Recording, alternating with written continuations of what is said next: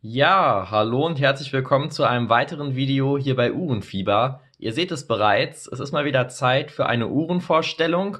Heute soll es sich um die Landwin Rolex Submariner Hommage Uhr drehen. Ja, der Name Landwin wird wahrscheinlich den wenigsten hier etwas sagen. Das ging mir ganz genauso. Ich habe die Uhr zufällig auf Amazon gesehen und habe festgestellt, dass die Uhr vom selben Verkäufer vertrieben wird, der auch die Bersigar-Uhren anbietet. Und ja, da habe ich gedacht, schlage ich einfach mal zu und teste diese Uhr hier aus.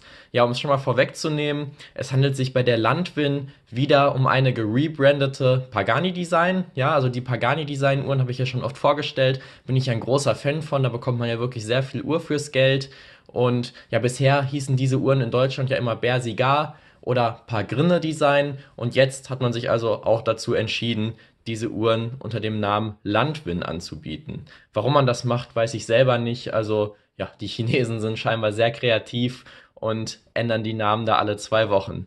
Ja, ich habe mich hier für das Hulk-Modell entschieden. Ne? Also wir haben hier ganz klar eine Hommage an die Rolex Submariner Hulk, also mit dieser schönen grünen Keramiklünette und dem grünen Ziffernblatt mit Sonnenschliff-Effekt. Ja, das Besondere an dieser Uhr ich habe ja bereits eine Pagani Design Submariner Hommage auf dem Kanal vorgestellt. Allerdings gab es die Uhr ja bisher nur in einem 43 mm Durchmesser. Und diese Landwin hat tatsächlich, wie das Original auch, 40 mm Durchmesser und passt somit viel besser ans Handgelenk. Ja, weiterhin haben wir noch so ein paar kleinere Veränderungen, dass wir die Lünette nochmal farblich besser dargestellt haben hier und äh, auch das Gehäuse wurde überarbeitet, aber da gehen wir später genauer drauf ein. Ich würde sagen, schauen wir uns mal einmal die Verpackung an. Ja, geliefert wird die Uhr hier in dieser Landwin-Box. Wir haben hier so einen Pappumschlag, den wir einmal ganz einfach abziehen können. Und dann sehen wir auch schon die eigentliche Box. Ja, das hier ist im Endeffekt genau das, was wir auch von Pagani und Bersigar kennen. Also wir sehen das hier, ne? Es ist wieder diese bläulich gummierte Oberfläche mit dem goldenen Schriftzug. Also hier sieht man schon ganz klar, dass das hier aus einer Familie kommt, Pagani und Landwin. Hier unten haben wir wieder die goldenen Details. Also ich sage immer, für den günstigen Preis dieser Uhren sind die Verpackungen definitiv nicht schlecht. Hier steht dann nochmal das genaue Modell drauf. Landwin. Genau, machen wir das Ganze einmal auf. Dann kommt uns direkt so ein Garantiegutschein hier entgegen. Ganz interessant zu sehen. Hier sehen wir es nochmal. Bersigar, Landwin, also das ist im Endeffekt eine Firma. Man hat dann nur wirklich verschiedene Namen. Übrigens, diese Ben-Yah-Uhren werden auch teilweise unter dem Namen Bersigar angeboten. Also das ist teilweise ja ganz schön schwierig, da den Durchblick zu behalten. Aber am Ende des Tages sind es alles die gleichen Uhren. Ja, dann haben wir hier noch so eine kleine Anleitung. Auch das kennen wir schon von Bersigar und Pagani Design. Allerdings für uns jetzt nicht wirklich weiter relevant. Ist natürlich nicht schlecht, dass sowas dabei liegt. Dann unter diesem Schaumstoffschutz haben wir dann den Rest. Ja, hier haben wir die restlichen Bandglieder. Ich habe das Band natürlich schon gekürzt, was man direkt wieder positiv hervorheben kann. Wir haben auch hier wieder verschraubte Bandglieder, natürlich auch komplett solides Band. Das ist für so eine 100 Euro Uhr wirklich genial. Und was ich persönlich auch sehr gut finde, ist, dass die Bandglieder hier in der Mitte dieses Mal nicht poliert sind, sondern tatsächlich geschliffen. So wie es bei der originalen Submariner halt auch der Fall ist. Ich denke, das sieht einfach deutlich besser zu dieser Taucheruhr aus. Ja, und als kleines Gimmick haben wir dann noch so einen kleinen Schraubendreher mit im Set. Damit kann man dann entsprechend direkt das Band kürzen und die kleinen Verschraubungen hier lösen packen wir hier den Rest wieder zusammen. Und dann kommen wir mal zur eigentlichen Uhr. Ja, wie gesagt, wir haben hier also quasi wieder eine Pagani Design Uhr, so wie wir es kennen, nur halt, dass wir hier 40 mm haben. Die Bezeichnung bei Pagani Design für dieses Modell wäre dann PD 1661. Wir haben hier wieder eine sehr gute Ausstattung, eine Keramiklünette, Saphirglas, ein Seiko NH35A Automatikwerk, das Gehäuse und Band komplett aus 316L Edelstahl gefertigt, wie ich gesagt habe, verschraubte Bandglieder, auch solide Endstücke sind vorhanden, das sieht man hier. Also ja, ausstattungstechnisch müssen sich diese Uhren wirklich nicht verstecken. Also da bekommt man wirklich sehr, sehr viel fürs Geld. Ja, apropos Geld, gehandelt wird diese Uhr aktuell auf Amazon für um die 100 Euro. Ja, mal gibt's eine Rabattaktion, dann kostet sie vielleicht 90 Euro oder so. Aber ja, aber das ist halt so dieses Preisspektrum, in welchem sich die Uhr bewegt. Ja, zu den Abmessungen, wie ich es eben schon erwähnt habe, wir haben 40 mm Durchmesser, eine Lack-to-Lack-Länge von 47 mm, eine Höhe von 13,5 mm.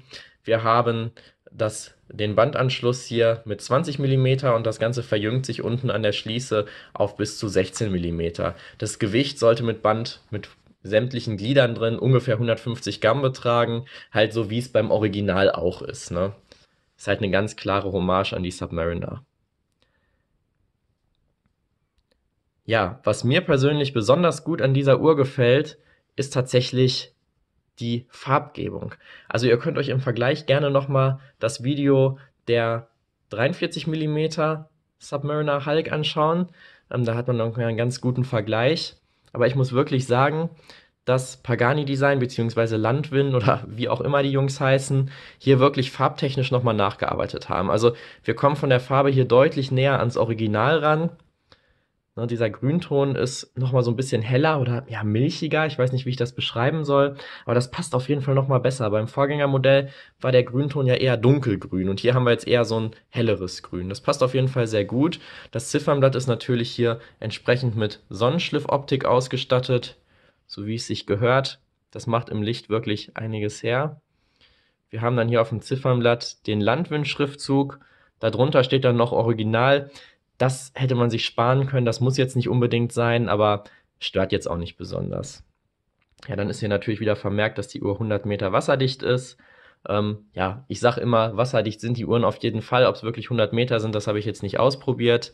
Unten natürlich nochmal, dass wir ein japanisches Werk drin haben. Wie gesagt, das Seiko NH35A. Können wir uns ja auch einmal anschauen hier. Na, wir haben hier Pagani-Design üblich wieder einen durchsichtigen Gehäuseboden, wo wir das Werk direkt sehen können. Da steht es auch links vermerkt NH35A. Ist auf jeden Fall ein absolutes Arbeitstier. Also ich habe das Werk ja inzwischen schon echt in einigen Uhren gehabt. Ja, die Uhr, die ich am längsten im Einsatz hatte, war tatsächlich die Invicta Pro Diver mit über vier Jahren. Und das Werk lief am Ende immer noch absolut einwandfrei. Also da kann man sich definitiv nicht beschweren. Das ist schon echt ein gutes Werk. Wir haben bei diesen Werken natürlich Handaufzug und Sekundenstopp. Das ist auch ein schönes Feature. Ja, die Krone hier hat dieses Landwind-Logo. Sieht auch recht schick aus. Generell finde ich, dass die Uhren für den Preis echt gut verarbeitet sind. Wir haben hier obendrauf komplett eine geschliffene Oberfläche ne, und an den Seiten hier poliert. Und ich finde, das sage ich immer wieder, dass der Übergang echt gut gelungen ist. Also ja, da braucht man sich auch wirklich nicht vor Seiko oder ähnlichen Herstellern verstecken. Das macht schon einen guten Eindruck. Auch schön anzusehen ist dann tatsächlich das Finish der Lünette. Wir haben hier dann auch an der Seite mattierte Stellen und obendrauf dann so einen leicht anpolierten Rand. Das sieht dann gerade im Licht immer sehr gut aus. Ja, zur Lünette an sich. Ich glaube, wir haben hier wieder 60 Klicks. Fühlt sich ansonsten wertig an. Wir haben allerdings so ein kleines bisschen Spiel immer bei den Uhren. Ne? Ich glaube, kann man es sehen. Ne? Ja, sieht man. Das ist halt ganz normal. Aber an sich finde ich, dass sich die Lünette etwas wertiger anfühlt. Hier habe ich zum Beispiel mal die Pagani Design Explorer bzw. GMT, die ich vor einiger Zeit vorgestellt habe. Wenn ich die hier drehe, ich finde, das hört sich blecherner an. Ne? Hier hört sich das Ganze irgendwie feiner und etwas wertiger an so im Vergleich. Ich weiß jetzt nicht, ob die Kamera den Unterschied hier wirklich auffangen kann, aber das wäre mir halt so ein bisschen aufgefallen. Ansonsten, was ja auch immer wichtig ist, ist hier oben die Passgenauigkeit gegeben ist. Ja, das ist hier definitiv der Fall. Ich denke, das sieht man. Ne? Ja, das Band gefällt mir auch sehr gut. Wie gesagt, im Vergleich haben wir hier bei dieser Pagani Design ja diese polierten Mittelstücke und da finde ich hier dieses geschliffene wirklich einfach besser. Man hat weniger Fingerabdrücke, weniger Mikrokratzer, sieht einfach wertiger aus. Die Schließe macht auch einen sehr guten Eindruck. Typisches Rolex-Design im Grunde, ne? hier dieser Klappverschluss. Ja, und dann, wo man die Uhr wirklich hier nochmal ein bisschen überarbeitet hat, ist hier ähm, dieser Drücker, der lässt sich hier viel leichter öffnen. Also man braucht hier quasi gar keine Kraft mehr aufwenden. Bei den anderen Modellen, die ich bisher hatte, musste man da schon ein bisschen Kraft aufwenden. Also das geht hier jetzt super einfach. Das ist auf jeden Fall eine Verbesserung. Dann ansonsten haben wir hier natürlich auch wieder die Taucherverlängerung. Ne, hier ist sie gerade draußen. Dann hat man 5 mm Verlängerung und man kann sie dann hier wieder einklappen.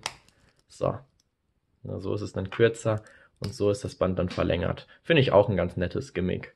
Ja, ich würde sagen, dann setze ich die Uhr einfach mal auf.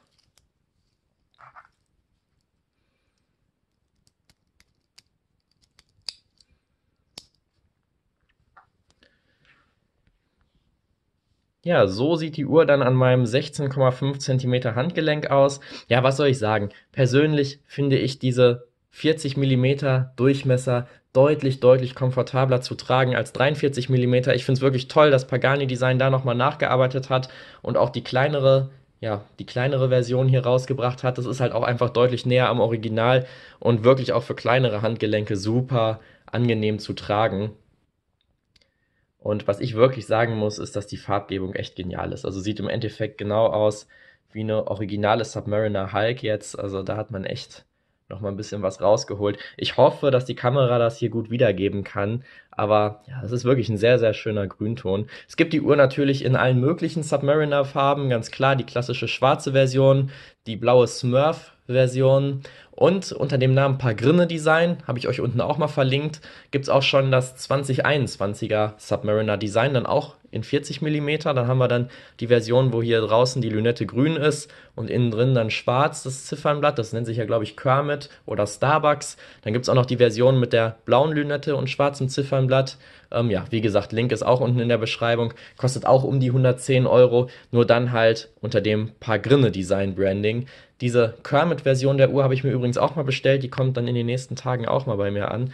Dann können wir die gerne mal vergleichen, die Uhren.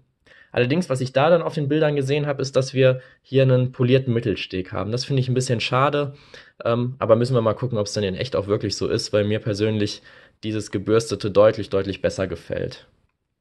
Ja, dann würde ich sagen, mache ich nochmal einmal das Licht ganz kurz aus und wir schauen uns einmal die Leuchtmasse dieser Uhr an. Ja, im Dunkeln angekommen können wir uns hier nochmal die Leuchtmasse ansehen. Also, was mir immer sehr gut gefällt, ist, dass wir hier auch so einen Blauton haben. Halt im Endeffekt wie beim Original, wie bei Rolex üblich. Der Punkt, der 12 Uhr Punkt auf der Lünette ist grün beleuchtet und an sich, die Leuchtmasse ist nicht besonders hell, aber ja, ist auf jeden Fall in Ordnung. Also es gibt Besseres, aber es gibt auch Schlechteres. Aber ich denke mal, die Leuchtmasse ist ja jetzt nicht das Hauptargument, warum man sich so eine Uhr zulegt. Aber ich denke, man muss es auch einmal gezeigt haben, gehört ja auch mit dazu. Ja, das soll es dann auch schon zu dieser Uhrenvorstellung gewesen sein. Schreibt eure Meinung gerne in die Kommentare. Also ich finde, dass das wirklich eine rundum gelungene Uhr ist. Ich habe eigentlich keinen Kritikpunkt. Also ganz ehrlich, ich finde, für 100 Euro bekommt man wirklich inzwischen sehr, sehr, sehr viel Uhr. Mir gefällt die Farbgebung sehr gut. Ich bin allerdings auch mal auf die Kermit-Version gespannt, wie die dann aussieht. Ja, ich bedanke mich auf jeden Fall fürs Zusehen. Ich würde mich sehr über ein Abo freuen. Ähm, in nächster Zeit wird es noch weitere sehr interessante Uhren geben. Unter anderem habe ich eine 30 Euro Submariner Hommage bestellt. Die wollen wir uns mal anschauen. Dann habe ich auch noch eine Omega Speedmaster Moonwatch Hommage bestellt. Auch sehr interessant. Dazu gibt es noch kaum Infos im Internet zu diesem Modell. Äh, ja, da kommt also noch einiges Interessantes in den nächsten Wochen auf euch zu. Ja, in dem Sinne bis zum nächsten Video hier bei Uhrenfieber und ciao.